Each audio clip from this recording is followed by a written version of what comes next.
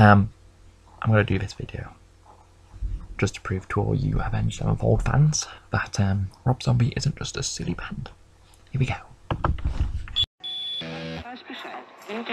Radio has changed our lives and possibly saved our lives.